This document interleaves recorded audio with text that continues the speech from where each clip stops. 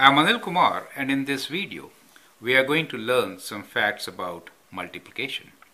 The question here is explain how one fact can help you find the other. Now in grade 3 and 4 we learn multiplication. So these facts help you to do multiplication better. So here we have 3 times 5 is 15. Now when we say 3 times 5 is 15, it is 3 fives is 15, right? 3 fives is 15. So 4 fives will be how much? Well, if 3 fives are 15, then 4 fives will be 1 five more, correct?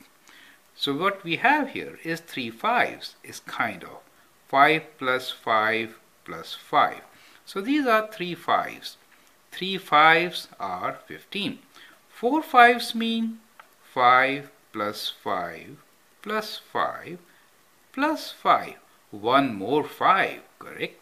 So if 3 fives are 15, then 4 fives should be 15 plus 5. So we can say 15 plus 5, that is 20. I hope you get the idea, correct? Now let's practice. 7 times 6 is 42. That is given to you. 7 sixes is 42. So 8 sixes should be how much? 42 plus 1 more 6. So I can say 42 plus 6 which is 2 plus 6 is 8 and then we have 4. 48. I hope you get it, right? Now, try these on your own. 8 times 7 is 56. That means 8 sevens are 56. How about 9 sevens? One more 7, right? One more 7 means 56 plus 7, right?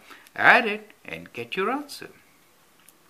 10 6 is 60. So 11 sixes will be 6 more than 60, correct? So write it down and figure it out. I hope that helps. Thank you.